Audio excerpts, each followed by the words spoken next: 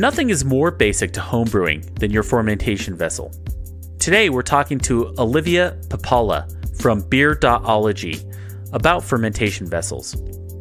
We're going to talk to her about her brewing experience, and then we're going to turn to the community and we're going to ask them about their fermentation vessels.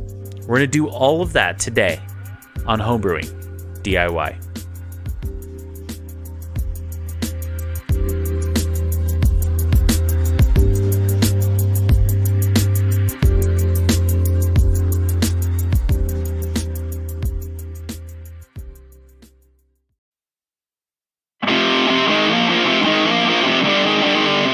A clean brewery is the key to making great beer that doesn't get contaminated.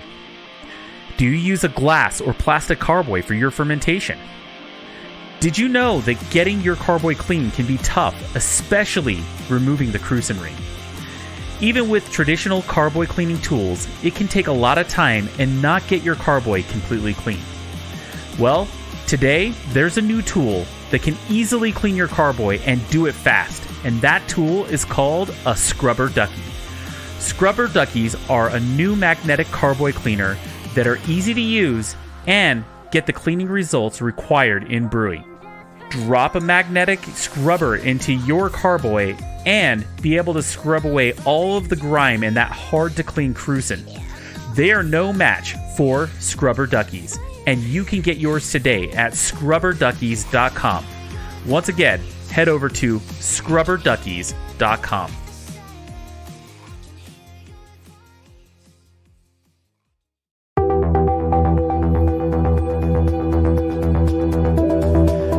Building recipes and taking good notes are two of the key fundamentals of making great beer. This is one of the first things that you learn when becoming a new brewer. I started taking notes on a sheet from my extract kit and then quickly moved to brewing software. I've tried many different types of brewing software and then I found Brewfather. This is the one piece of software that you need for recipes and very detailed brew day notes, as well as fermentation notes. Brewfather also integrates with some of the topics that we discuss on the show, like the Tilt hydrometer, the iSpindel, and Fermentrack. You need no other piece of software than Brewfather. One of the best parts of Brewfather is that you can try it for free. All you need to do is head to our website, homebrewingdiy.beer, and click on the Brewfather banner to sign up for free today. Once again, that's homebrewingdiy.beer and sign up for Brewfather today. Have you ever wanted to make a podcast? Do you have a subject you want to discuss with listeners? Do you even know where to start? Well, if you want to make a podcast and you want to get started now, I could not recommend Anchor enough. Anchor is the easiest way to make a podcast. Anchor gives you everything you need in one place for free, which you can use right from your phone or computer. Creation tools allow you to record and edit your podcast so it sounds great. They'll distribute your podcast for you so it can be heard everywhere Spotify, Apple Podcasts, Google Podcasts, and many more. And you can easily make money from your podcast with no minimum listenership. Hey, look. I shopped around for a place to post my podcast, and Anchor was the easiest, most streamlined experience you could ask for. So if you're looking for a place for your new podcast, download the Anchor app or go to anchor.fm to get started. Once again, download the Anchor app or go to anchor.fm to get started.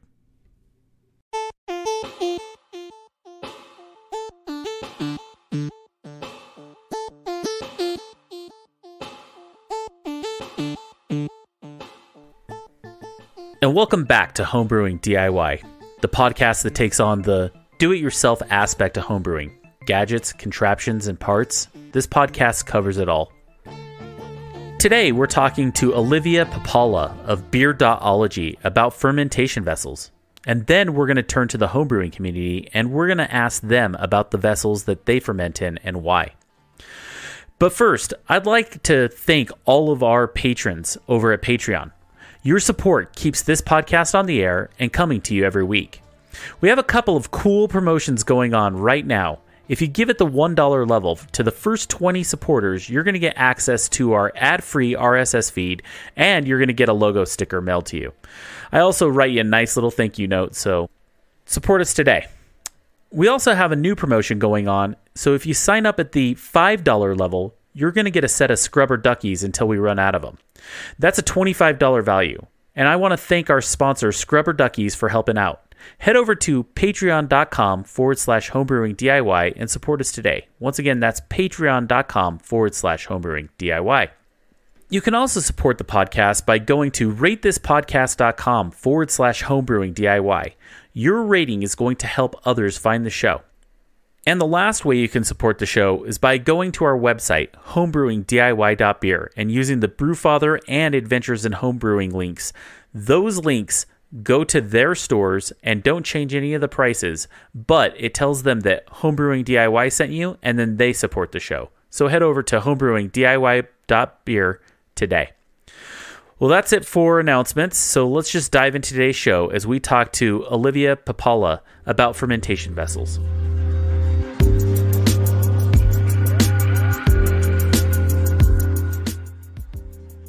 I'd like to welcome Olivia Pipala to the show. How are you, Olivia? I'm doing good. Thank you so much for having me. Well, thank you very much for coming on Homebrewing DIY. So, a bit of background on Olivia. She she's she's actually got the background of a of a chemistry teacher, uh, and mm-hmm. she's uh, been teaching chemistry, uh, and and but then she's trying to apply that to homebrewing. Uh, big beer enthusiast for a long time and has just started homebrewing. Uh, and so, welcome, Olivia, and let's uh, talk about a bit about what you're doing. Thank you. Yeah. So, um, as far as me with beer, I've kind of always had a fascination since beer, ever since uh, I guess I turned 21. Uh, but the biggest influence of the beer loving that I've kind of had has been my brother. So he's actually the one that got me into home brewing uh, he's probably been homebrewing now for about four years. So, me, I'm living out here in California right now, and I originally grew up in New Jersey. So, growing up in New Jersey, came out to California for college and fell in love with it. And so I stayed. And so that's how I ended up teaching chemistry and geology out here. Uh, but every time I would go back for the holidays or for the summer, my brother and I, our thing would be beer. So we would either hit up a brewery on the East Coast, which there aren't that many in comparison to California. So I've kind of gotten spoiled out here. So now I'm telling him to come out to California and see me. But um, our big thing was every time we got together, we would like to brew a beer. So my first beer that I brewed was probably about two and a half years ago. That was an amber ale. So I was kind of really into the ambers and all like that really malty type of beers back then. Again, my palate's kind of always changing. It's right now I'm all about the juicies. Then the next I'm all about the lagers and then I was all about the amber. So my first one was an amber. I was really excited to do it. And so I told my brother, I was like, I'm really into ambers right now. Can we please brew an amber together? And he hasn't he hasn't done that before because he's super about all the juicies and the IPAs. So it was about Christmas. We brewed our amber, and then he was able to ship over a bottle to me to California for me to try it. And I was like, wow, this is actually really cool. But I didn't get into brewing um, until just like four months ago. Uh, to me, every time I went back home and I brewed with my brother, I kind of just sat back and watched him, and I was like, this looks way too complicated. What is all this chemicals that you're adding in? How come you have this? What's that? You know, I just look at like the CO2 tank and um, what's it called? Oh, the regulator and his chiller and all that. And I'm just like, this just looks way too technical for me. So I, I always kind of was scared to brew unless if I was with him. But this year I was kind of like, you know what? Like, doesn't really seem that bad. I've done it a couple of times. So let me try to do it on my own. So I went out and I got all my equipment. Um, and then it was November, I brewed my first beer. And so that was a pale ale. I was originally supposed to go for an IPA, but my wort temperature wasn't as high enough, so it kind of turned out to be a pale ale. But it wasn't that bad. And then so ever since then, I was like, you know what? I think I could do this. So now I'm trying to brew a beer every single time I get a chance. So it's kind of been cool. That's that's awesome. And and just to kind of uh, put some uh, some some color to this, you know, you, you kind of went all in the, the, to almost the advanced methods. Uh, I, I, think one of the things when when I saw you brewing your first beer, uh, just so you know, uh, uh, Olivia has a really amazing uh, Instagram feed, and I highly recommend you following it. It's uh, beer.ology. That's uh, uh, beerology with a dot right after beer. And and you can kind of see her journey. But one of the cool parts of it is is that on her first batch, she's already fermenting in a keg. She's uh, are are are you doing extract or all grain? What what are you doing there? Uh, I'm just doing all grain right now. So I've been doing brew in a bag. So I start off with my grain bill, depending on what the recipe is, and uh, brewing in the bag as far as that's kind of yeah just what i'm doing right now and then yes i am fermenting in my corny keg right now so it's kind of like a um, like an all-in-one type of process yeah and that, and that's kind of uh, I, I gotta say, like for me, it's I started brewing extract, right? Uh, I think that that's where a lot of people start. Uh, randomly, my first beer I ever brewed was an amber ale as well, and I think, oh, nice. you, yeah, there you, go. We already have a lot in common. totally. And if you talk to a lot of uh, people who brew, and you talk about their history, I'm gonna guess that there was a lot of amber ales brewed first too. Yeah. But on the other hand of that is that uh, you know it, I didn't go all grain until I was five or six batches in, right? And mm-hmm. I think that's the normal progression of what you see from homebrewers is kind of start with extract, learn how to ferment, and then move into the all grain because that you know mashing temperatures and things like that are uh, places to you know it's another variable to add. Is yeah, and that's something that I'm still trying to fine tune too. So I'm in an apartment and I have an electric stove and I'm trying the best that I possibly can getting my strike temperature on my electric stove. And it takes forever for me to brew, but I mean, hey, I'm able to get it done. So Yeah, eh, well, and and that's the key. But I think that brew in a bag specifically, and just heads up, I, I brew in a bag. I brewed I brewed twenty gallons on uh, Sunday with a with a with my boss actually, which was Damn, really that's cool. a lot. Twenty yeah. gallons. Yep, and uh, and we and I brewed 10 gallons of that 20 in a, in a bag and then huh. my my boss he brewed another 10 but the but the idea is that uh, you know for me brewing a bag is the way that I brew too uh, because hey it's easy it works I like my setup to be very simple and that's and that's kind of at least my approach don't get me wrong there's nothing wrong with brewing any other way as well uh, I, mm-hmm. I, think mm-hmm. there's no wrong way to brew um, but the idea is that uh, for me it's just that I I, I brew in a bag, and I think that uh, it, it makes going to all grains so much more accessible for people. Wouldn't you agree? Yeah, it totally does. I mean, I always think about it just like a giant tea bag. You know, you have your tea leaves in there, you're just steeping it for however long you want, and then you pull it out and you're done. And it's kind of makes it super easy. I don't know how some people do it without a bag. I just give them props. So. hey, you know, and, and to be honest, all it is is variations of that anyway, right? So mm-hmm. if, if you brew with a mash tun, the mash tun it, itself is the bag. Um, whether you have a false bottom or you're using rice hulls or whatever you're using to kind of make it so you don't get a stuck sparge, yeah, it, it doesn't matter. But the idea is that uh, you're you're still kind of going through that same process. Yeah. Mm-hmm. Yeah. So so kind of cool. Well, what we're here today to talk about is a bit about fermentation vessels. That is actually our topic today. And uh, Olivia so nicely decided to join me uh, today and oh, talk about these. Thank you so much for being on the show again. Uh, let, us talk a bit about your fermentation vessel. I, I, know that you you you did say you ferment in a keg. Huh. Uh, tell me tell me why you decided to do that. And you know, I think most people start with things like buckets or carboys. And and why did you yeah. go straight for a keg? Uh, so the, one of the main reasons why I wanted to go straight to a keg is pretty much just for sanitation purposes. I feel like the more you have to transfer your wort or, you know, whatever, whenever you have a transfer, you're always going to run into some sort of sanitation problem. And you want to make sure, of course, that you're spraying down everything with, you know, your Star Sans and, and all that. But my brother's kind of just helped me out and kind of coached me through. And he's like, you know what? You don't really need to get all this extra stuff. If you're going to have a carboy and you're eventually going to want to keg it, then you could kind of just skip that process and just go straight into kegging. And so, um, what really helps is having the, it's like a floating dip tube. So the one specifically that I have is a, it's called a clear beer draft system.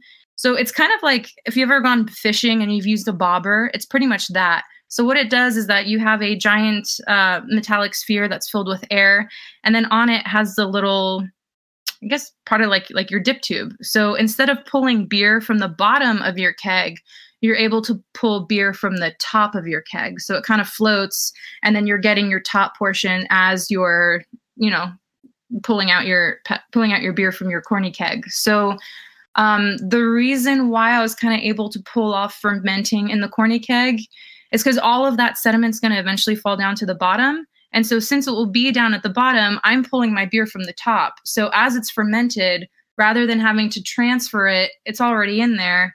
And so, I'm just able to kind of do like all in one, I guess you can say. Okay. And, and so, the idea is that uh, when you're done fermenting, you don't even have to transfer it into another vessel. You're just cold crashing it, dropping all the sediment and the trub yeah. to the bottom, and then you just start drinking the beer off the top. And then once it gets super cloudy, it's gone. That's exactly it. Mm-hmm. That's uh, that's actually a really innovative way of approaching it. Um, you know, one of the things that uh, I've done, I, I have personally fermented in a keg before as well, mm-hmm. and all I did is I I went and took my dip tube and I shaved about an inch off the top of it right? So okay, kept the same dip, kept the same dip tube, uh, mm-hmm. and went and just you know took about two inches off of it so it didn't get all the way to the bottom. Uh, kind of right at the turn, and then I would just go in and I actually did a closed transfer through my keg system to go into another keg. So still not exposing it to air. That's the whole goal here, right? Yes. But, yes. But but the idea is that uh, doing so means that uh, you're it's it's a quick and easy hack to kind of get the same results, but I still have a transfer, you don't, right? So really, yeah, that's, that's nice way. to have a transfer, yeah. yeah, that's really that's, that is nice. It's like, hey, ferment uh, ferment your basement, throw it in the fridge, drink beer. I mean, that's uh-huh. and it, yeah, and super easy, and then it also makes the cleanup. You know, it's like less to clean up. You just have one vessel to clean, and that's it.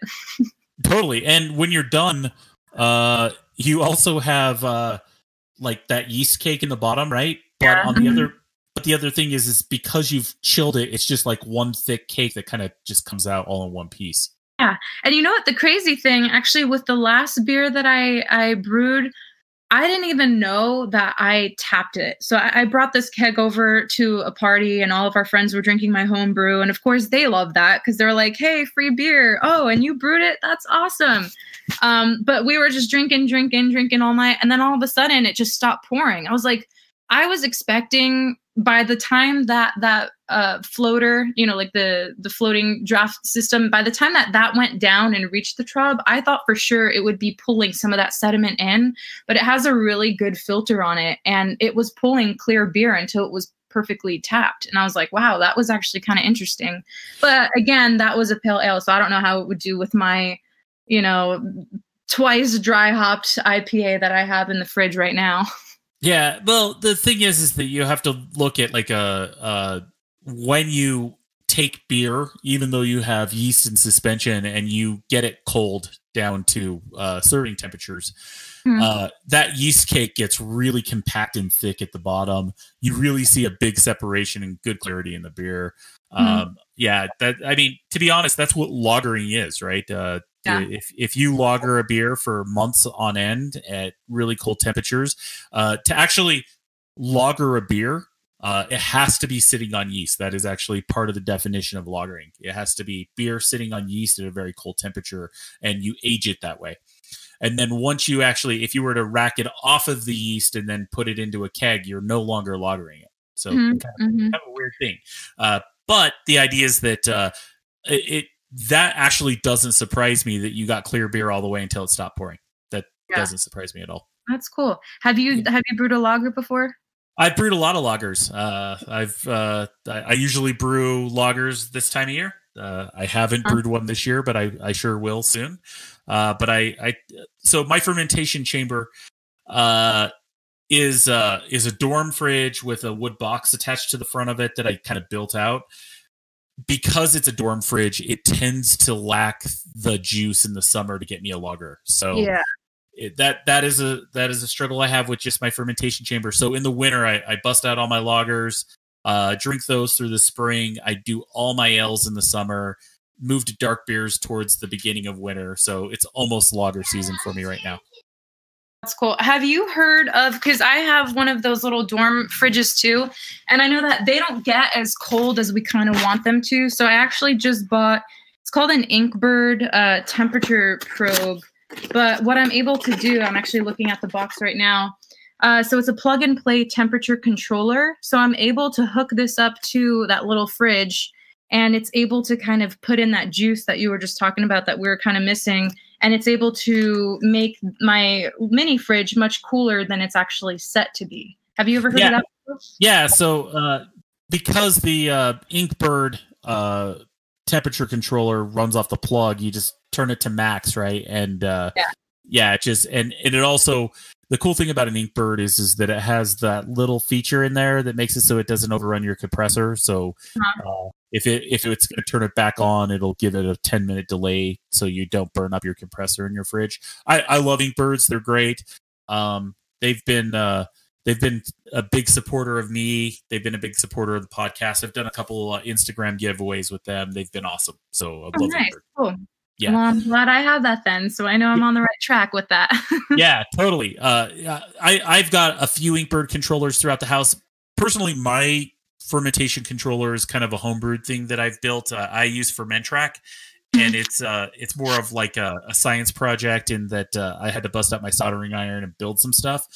But um and and those listening to the show, if you go back to I believe show number eight, um, we did an interview with maker of Fermentrack, uh, John Beeler, but uh, that's uh that's what I use to run my fermentation chamber, and it has a PID algorithm in it. And so what a PID does is it it actually factors in the overshoot of your refrigerator. I also have a heater in my fermentation chamber as well. And so it can actually get me temperatures within a tenth of a degree of whatever number I put. Super cool. Yeah, and and my beer never changes uh, temperature. It's it it's like super duper solid uh, temperature control. It's pretty cool. Uh, And- yeah, Do you like also experimenting with different type of yeasts for different type of fermentation temperatures? Like say for example the I think I'm saying it wrong, the Kveik, the Kveik yeast. You're saying it right. Uh, Oh, okay, good. The right way to say it.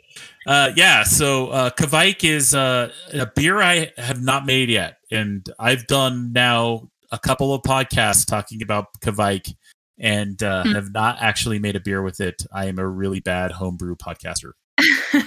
no. You're just waiting for the right time. That's what it is. So we Yeah. know we're waiting for summer where we can't get our temperatures cool enough for that. Well, you know, you're in Southern California, and your groundwater doesn't get cold enough in the summer. Yeah. So So- forget about chilling my wort temperature in the summer. That's going to take forever. yeah, exactly. So in the summertime, when that happens and you get it down to like 80, just know you can pitch some Kveik and it'll be all right. I think I'm going to do that for my next one. yeah. So, so, uh, yeah, a bit about my fermentation vessels so that we can uh, talk a bit about that. Uh, I use FerMonsters, which are plastic fermenters. Hmm. Um, they're uh, they're I actually have two of them. Uh, they're seven gallon fermenters.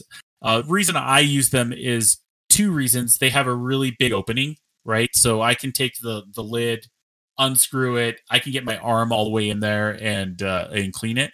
Also, when you ferment in a corny keg, very similar experience, right? You can Yeah. totally get your arm all the way in there. You can clean really well. Uh, I'm lucky that uh, my arm actually does fit in there, and I can get all the way to the bottom of a corny keg. Pretty awesome.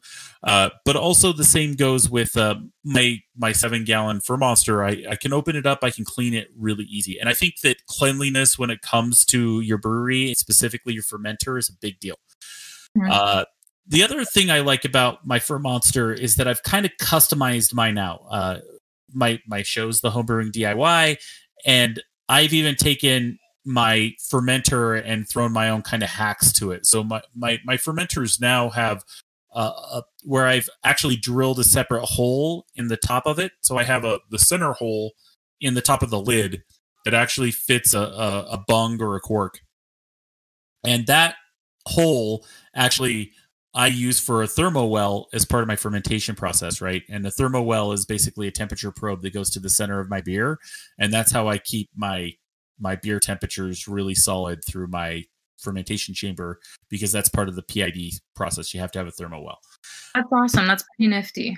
It is pretty nifty. But then on the on just to the left of that hole, I actually drilled a separate hole for my airlock.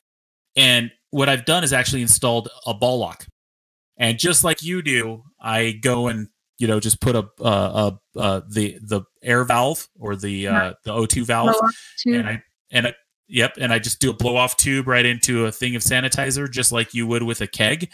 Mhm. And what that also allows me to do is still do uh uh transfers to my keg through the bottle like through the the spout in the bottom and then i can add some co2 to the top of it and then just pressure ch- change it to my keg and not have to actually have it touch any air so awesome. yeah so you have no no transfers. Mhm. i do transfer but i still transfer oxygen free and that's the goal. Yeah, so that's why i use mine. Um so what we're going to do today olivia is we're going to I, I went out to facebook and i asked a bunch of questions to the community out there and uh asked and actually i'm going to read you what i asked. I said hi i'm i'm uh i'm going to ask you a question real quick to the community. So i actually said all of this. I don't know why i type out like that. I said uh i'm curious what type of fermentation vessel that you use and why. Do you use a glass carboy? Why? Do you use a fermentation in a keg? Why?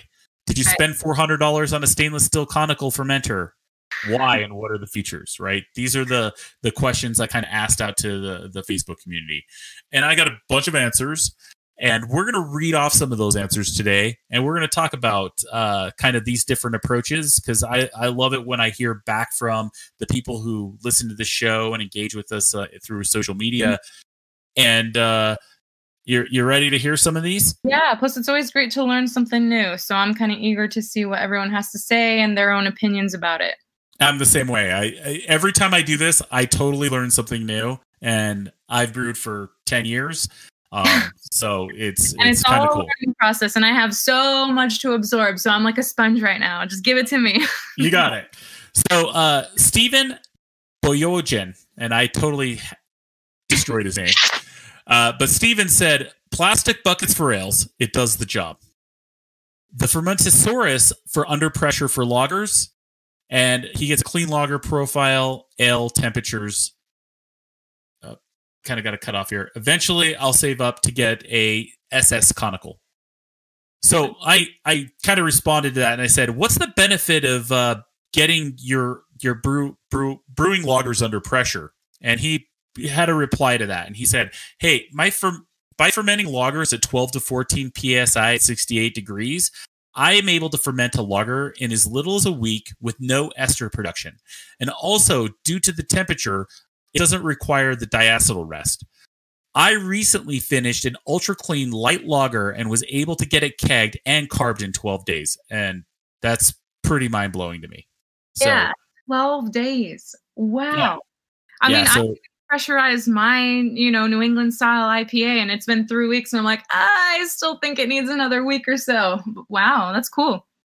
Yeah, eh, but the but the idea is that uh, I I have heard that uh, doing some some lagers under pressure Mhm. is going to be something that's going to help you kind of make sure that you're not getting that ester production. But I, to be honest, I hadn't really got into the details of it. I've heard a couple podcasts on it. I've probably read a little bit about it, but this is a really great piece of uh, uh, feedback in that you know that 12 to 14 psi. What do you know? What psi you're fermenting at in your keg? Uh, it's at ten right now. It's Okay. fresh at ten psi. Okay. So, uh, you know, it's pretty close to 12, right? 12 Yeah. to 14 psi, 68 degrees. Uh, you know, but but the fact that that pressure can really, you know, suppress some of that ester production is kind of cool. So, Mhm. And that's what the plastic ves- vessel that he's using. yeah, so it's a Fermentasaurus. Uh, you've probably seen those. They're kind of like a a, a big plastic conical fermenter. Um, they Ah. also have the the screw thing in the bottom that like collects the trub. Yes. Mm-hmm. You you've probably seen those, right? Yeah. Uh huh. I have. Yeah. That's cool. Yeah, so it's yeah, it's one of those. Um, they are a, able to take. I think up to 35 psi. Don't quote me on that because uh, I don't know the answer totally, but I, I do know they can take more than 12 to 14 psi easily. Yeah, I Uh, They probably would just looking at the structure of it, because even just in my corny keg, I was trying to naturally ferment it, and that thing was bouncing up to about 20 to 25 psi, and it was doing okay. So Yeah. Uh, so kind of uh, a corny keg actually can handle up to 145 psi. That's actually their breaking point, which is a lot more than you would ever use in, in beer. more, yeah. Yeah, and and actually, uh, have you ever used a? Do you use pin lock or ball lock kegs? Uh, mine's a ball lock. Yeah. So the ball lock has the pull tab to let the air out, right? Mm-hmm. So with a pin lock keg, they don't have that pull tab, right? They have they do have a, a blow off valve the same way, but that actually fails, I believe, at 135 psi. You're stuck then. if Yeah. you go for that, which you probably won't ever, but Yeah. But that's actually the safety release. That safety release is actually meant to go, and it will actually start blowing air out of it or CO two out of it once it gets to like 135 psi. But like other a than that, regulated type of system. Yeah, it's so so. If you have a pin lock, the best way to bleed them is actually I just take a, a key or a screwdriver and I just kind of push it down in it, and that's how I like kind of bleed them. Yeah, push down the gas post. Uh, little trick there for you guys. All right, let's let's let's read another one here. Uh, Michael Sutton. He's I started with a mini SS brew bucket and a brew jacket control temp, and now I use a seven gallon brew bucket chilling coils and a seven gallon BME and a and a glycol chiller and a Tilt to control both. I feel like it's worth the investment in being able to control temps efficiently and accurately. I use the brew bucket for lagers and the beers without dry hopping, and then use the conical for things that I turn into a quicker or a dry hop. I've never used a carboy, seemed like a pain in the ass to clean, and fermenting in a keg, I feel like it would create a clogged tube or valves, so I've never really tried it. Hmm. So yeah, I, this guy's got quite a setup. Uh, a seven gallon. I Yeah. was like, wow, I'm impressed. But at the same time, it's like, this is what's so fascinating. And I'm so grateful to be learning so much because everyone is like, as, as unique as the person is, it's unique to their bre- brewing style, you know? And I think that's what's so that everyone has a particular reason as to why they're doing whatever it is that they're doing. Yeah, so it's exactly. cool to well, learn and that. the different systems are. It's kind of weird. You get your own system down, and then your beer tastes like your beer, right? Yeah. it's kind of uh, it's a very unique thing in that uh yeah so uh i i couple of things here with this guy's system is he's got you know the seven gallon conical uh with a glycol chiller and a Tilt i mean this guy's super teched out uh this is this is a very very high end fermentation system but also on top of that uh you know i'm a big advocate of the Tilt hydrometer uh, the Tilt hydrometer, obviously, the Tilt the, the dr- hydrometer, you can kind of just drop right into your uh, into your fermentation and kind of log uh, your temperature and your gravity at the same time. Um, I have one. I love it. Uh, I, that is also part of my fermentation setup, and, and it's kind of then you know your beer's done. That's Mhm. kind of my, you know, like you just said to me a minute ago. You're like, "Hey, I've been waiting uh, for three weeks, and I'm not sure. I'm not sure if it's ready." Uh, the cool thing about the uh, uh, the Tilt is that if you have a Tilt in there, once you see a flat line of of a few days where your fermentation hasn't changed or your gravity hasn't changed, you know your beer's done. And Mm. surprisingly, it happens in about four days for most of the beers I brew. So Oh, that's super cool. That's a nifty little trick that that gadget has. yeah, they're they're super cool. Uh, highly recommend them. Or the, there's also the DIY version of that, which is the iSpindel. So there's kind of a couple. eh, There's a couple ways you could go after that one. Uh, there's also uh, a the the the Plaato airlock that also can kind of give you a similar reading as well. Hmm. Uh, let's see, Niles. Uh, he says, "I use Big Mouth bubblers from Northern Brewer. You can't beat the depth charge option for a huge dry hop edition." And I actually asked him, uh, "What's a depth charge depth charge option, and Yeah, how does that help you?" I was like, oh, these terms are above my knowledge base. I actually didn't know what it was either. So he said it's a it's a stainless steel mesh tube that attaches to the lid and is long enough to almost touch the bottom, and it's about four inches in diameter. So seen those. I think I've Yeah. seen those. hmm yeah, and it easily handles up to six to eight ounces of hop pellets and allows for easy removal prior to throwing them into a keg. That's actually pretty big because uh, you know I've totally done like an eight ounce dry hop, put it in my keg, and totally clogged my dip tube with uh, hot Yeah. particles. So So it's kind of like a spider, but it's kind of like built into the to the lid in a sense, where it's like, uh huh.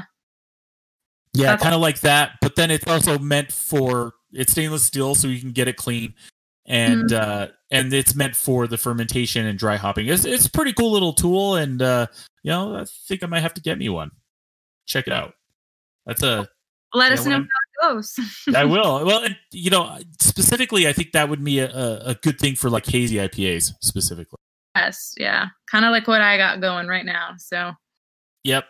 So uh Bob Sloan says, uh, I use a Brewer's Edge mash and boil. He ferments and then bottles from it. So uh he's he's kind of got a setup like you and except for think of it as from kettle, but then he bottles. But the Mhm. idea is that he brews in his kettle, gets the temperature down in his kettle, and then uh from there he just puts a lid on it, puts a puts a uh, uh airlock on it and actually ferments in his boil kettle. oh wow, I didn't even know you could do that, but it makes Yes. sense. Yeah, Yeah, so Brewer's Edge is an electric all-in-one kind of system, like a think a Grainfather. There's there's a few different versions of that. So Brewer's Edge is kind of one of those. Uh, but uh, I didn't realize that you could actually uh, mash, boil, and ferment in it. So that's uh, pretty cool. Does does that have like a lid that like seals shut so that way you don't get any ox- oxygen in there? Yeah, so it's going to have a lid that seals shut. You're going to have to have an airlock on it, just like you would. Uh, but the idea is that you could, you know, it's basically like you're still going to uh, brew in it. You're going to mash in it, boil in it, get it chilled down, and once the beer's chilled down, you're just going to slap. You're going to pitch your yeast, slap the lid on it, and then ferment right in the same vessel. Uh, cool. And then and then from there he goes straight to bottling, right? Yep, exactly. Nice. So that's like the all-in-one. That's like the all-inclusive way of brewing. and he says that he just lets it cool down on his old before pitching. He doesn't even actually put a chiller in. He just like gets done and and leaves it sitting out and then uh, pitches right when it gets cool enough. Seems So, like a very like artisan way of brewing. I like it. it's pretty cool. Uh, Yeah. So I got Brian. Uh, I got Brian here, and he says uh, I start with five gallon brew buckets, went to six point five gallons uh, buckets, then went to glass carboys, then to mini conicals, and now he's at an eight gallon brewcraft bucket for the last seven years or so. Cheap, clean, easy to stack and store, seal, great, perfect from five gallons to sixty gallon batches. He has nine of these, and uh, I need to have. He goes. I need. I have no need for conicals at my scale. So that's what Brian says. Cool. Uh, yeah. I mean that. I I gotta admit that like I brewed in a bucket for a long, long time. Brewing in a bucket's easy. Once again, you get your arm in there to clean out your fermenter, which I think that cleanliness is to me one of the more important parts. So being able to get your arm in there and clean it is something that's great. Uh, and the other thing about buckets is they're cheap. They Mhm. work and they're cheap. And so, you know, if you if you're and, and if you've got nine of them and you're brewing 60 gallon batches, hey, Yeah, you're all set. get better than that, right? You need to throw down 400 bucks on one of those conicals, but exactly. Uh on him, you know, but still. Yeah, Phil Ad- Adelson. Let's see what he says. I started with uh, the Mr. Beer uh, LBK because that is what was in the kit. And then I moved to a three gallon plastic carboy because they were inexpensive and not hard, too hard to clean. And I just made the shift to fermenting in cornies for a few reasons stainless steel, easy to clean. I want to ferment under pressure. And I use a corny is a, a used corny is a hell of a lot cheaper than an SS fermenter. So, uh, yeah, stainless steel fermenters are very expensive. If you want to ferment in stainless steel, the the cheapest and easiest way to get into that is through corny keg, right? hmm And I think everything that he just mentioned hits on the nail as to why I'm deciding to use the corny keg as a fermenter. And just like how you're saying with the ease of being able to stick your hand and clean um and then just just the price you know like for example my corny keg i got used and i think i only paid like 70 bucks for that one. And i mean in some places you could probably get them even cheaper. Um, i know a new one could be anywhere from like 100 to 150 but that's still much much much cheaper than you know one of these conicals that you could get especially like what you were saying with the stainless steel ones Yeah, and and, and actually, you can get a brand new corny keg. I, I think if you get them on sale, uh, if you if you go to my website and click on the Adventures in Homebrewing uh, square, uh, you can go over there, and those guys uh, will put uh, their their cornies on sale brand new for seventy five bucks sometimes. Uh, There you go. Yep, and and, and even brand new, not on sale, they're only ninety bucks. So you could definitely get one for cheap. Um, there, there, there's definitely corny kegs out there, brand new, that are less than a hundred dollars that you can find. and then plus then you'll have the keg for being able just to you know put your beer on tap anyway so Exactly, exactly. Uh, let's see here. I have, a, I actually got a lot of, I got a lot of comments on this. So let's see. We got Greg Turley says, I have a Flex and a Flex Plus, and I wanted to move to a stainless steel fermentation vessel, and these were a great place to start. I was drawn to the T.C fittings, and they fit inside my fridge for cold crashing, and the racking arm also allows me to find that sweet spot, transfer beer, but not yeast. And I start to transfer into a mason jar, and then I move the racking arm until I get the yeast, and then move up slightly and continue transferring to the keg or the bottling bucket. I got the Flex Plus on Cyber Monday at 20% off, and it allows me to press to do pressure transfers. So he's got a couple, the Flex and the Flex Plus, and I'm actually gonna pull this up so I know what it looks like. he's able to fit this in his fridge I'm I'm googling it as we speak. I- I- this is Yeah, yeah, uh, the Spike Brewing from Flex Fermenter. Yeah, I think if you have a stand-up fridge without any shelves in it, it would fit in there. I- but i would see that the arm would be extending outward too much that's why i'm wondering how is he fitting it in his fridge to Yeah, I I, I don't know. Maybe he, he's got to have a pretty big fridge. Uh, it's got to, you know. Also, if it's only a five gallon or a six gallon fermenter, even with the legs, it's not going to be that big. It seems Yeah. bigger than it could be. it looks Uh, but if anything Yeah, yeah. It it looks kind of. I mean, thing is really nice. it It is. Yeah. it looks like so- uh, something i would find in Willy Wonka's factory yeah, Willy definitely. Yeah, they're definitely not cheap either. They're you know 250 bucks stainless steel. Uh, but yeah, this thing is definitely uh got all the the bells and whistles with it, right? Mhm. so wait what was he saying as far as the um pressurizing with that wait so did I- because it's stainless steel, you could do pressure on it, right? And he does pressurized transfers, right? So the idea is that you're gonna gas in the top and move it to uh, his keg. Um, the other thing that he does is it, that was pretty cool is that it has that it has the arm on it that allows you to uh, to rack, and he actually goes and dips it right in the yeast at first and pulls a bunch of yeast right into a mason jar and then lifts the arm up into the beer and then racks the beer off the yeast. So, kind of a nice way to get your yeast out as well. yeah Nice. Uh, and then let's see, I've got uh, I've got one more we can go through. I've got Tim Carly who said who said I started with uh, buckets and carboys. Then I went to a stainless steel eight gallon conical, which I got for 250 bucks on sale at More Beer. And I like the ease of it, fermenting and, and the fermenting test, dumping uh, trub and secondary cleanup is easy.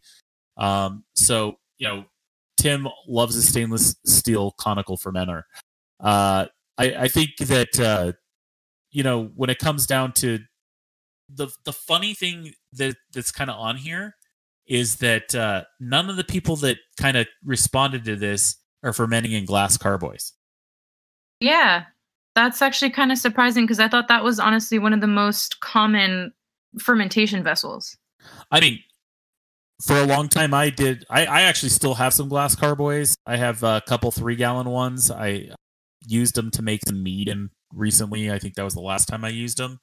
Uh, but I actually got rid of glass carboys out of my brewery about five years ago. I had a, I, and here's why. I had a friend. He dropped his and had to get uh, reconstructive surgery on his arm. And oh, no. at that point, I was like, glass is not in my brewery.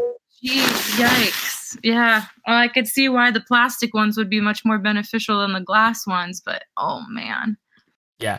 I mean, but there and, and I this is something that uh I've heard I I personally ferment in plastic or stainless steel. Those are the kind of two materials that that I ferment in. But uh, you know, uh, the I, I think that when it comes to glass, a big reason that people use glass is that a it's easy to clean, it doesn't really scratch, so you don't have to worry about that, and uh, so you get those same benefits as stainless steel. You're but you're going to get it for about thirty bucks. So Yeah. I, I think those are the benefits of glass. I think another Uh, too is yeah. that it's it's super fun just to watch your yeasties do their thing. You know what I mean? That's kind of like with with the fermenting in my keg, I'm kind of just not being able to observe them and just watch what you're doing. But when you're watching through, you know, your your glass carboy, it's kind of fun just to see what they're doing on a day to day basis. You don't get that fireworks show anymore. yeah, that that that does suck that you can't see it. But then on the other hand of it is is that having it dark like that is also a really big positive because if it's dark, it's not getting light to the beer, which is also not going to produce an off light flavor. Not that Mhm. like you know if you keep it in a dark spot, it's probably going to be okay. But you know, you know that's still if you're going to be a purist, that could be one way of looking at it as well. does uh does light also affect your activity of the yeast? it doesn't i don't think affect the activity but uh a beer that gets light struck can uh, give a skunky off flavor that's why they always say never bottle in green bottles right or clear bottles That's why you need to drink lime with a Corona. so it's We clear all know bottles isn't it for. or or like if, if you've had a Heineken or a a, a, a green bottle Heineken from from back in the day Yeah, yeah, Rolling- Rolling Rock, right? They Yeah. they always kind of had that skunk flavor, or Mickey's Big Mouths, right? Uh, a- And the thing is, is that age with light is also really bad because the more light struck it gets, the more it's you're you're kind of opening it up to that, right? So. Mhm. You know, if it's fresh and it's got some light on it, it's probably going to be okay. But then the longer it goes, it's going to get more and more skunky. we we want dank, but we don't want that type of dank. No, exactly. You must live in California. I never guessed. well, I, I live in Colorado too. so- Oh, uh, so you definitely- you're even ahead of the game. so olivia uh, i think that's kind of it for the feedback on uh, fermentation vessels uh, uh, i really want to thank you for uh, being on the podcast no, thank you. Honestly, this has been such a learning experience. Just from this conversation that we've had, it's already opened up so much more to me now. And now I'm able to understand all the different fermentation vessels because I myself, you know, just on Instagram and, and watching other home brewers, I'm just like, how come they use this? What is this? What is that? And now that just cleared up so much. So now I understand the difference between your conicals and your your glass carboys and the plastics. And they even have like these um plastic conical like balloon shaped things and now it just makes total sense to me as to why everyone has certain options for their certain beers and so thank you for the learning experience. It's been awesome. Oh dude thank you so much for coming on the show. And and so just to anybody who's listening head over to instagram. You, you got to follow beer.ology uh, it's a great uh, it's a great Instagram profile. She she goes to a lot of breweries. It's not just home brewing. Uh, so if if you're a beer lover, she gets to go to all the good ones. Uh, she she goes to Bottle Logic all the time. One of my favorite. oh breweries, so. yeah i love that one I, I my heart is there so every time every time you go there, I'm super jealous. And Aw. uh, yeah, I love that one. And uh, it's probably one of my favorite Southern California breweries. So uh, so definitely spoiled down here. There's way too many good ones so. Yeah. Yeah we're spoiled here in colorado so you know if, if there's if you ever want to do a beer swap let me know. Oh yeah let me know. That's great. Awesome. So, well, Olivia, thank you so much for coming on the show. Uh, and, and like I said, uh, if you want to, if you want to find uh, uh, Olivia's uh, Instagram account, just look in the show notes. Head over to our website, homebrewingdiy.beer. Um, I'll definitely put links to all of her stuff there, so you so you can uh, kind of check out what she's doing. And uh, thanks for being on Homebrewing DIY. Yeah, thank you so much. I can't wait to tune in, listen in, and see what else you guys got in store.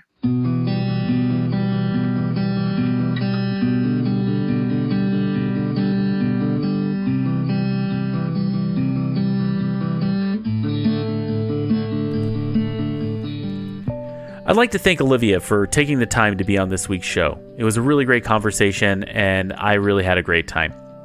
I also had a bit of audio trouble, so uh, it was on my side and not hers, so sorry about that. I swear I will fix it next week. Also, if you'd like to follow Olivia, head over to the website, homebrewingdiy.beer. I'll have links to her Instagram account, and you can check out her and all of the cool brewing things that she's doing. Well, that's it. We'll see you next week on Homebrewing DIY.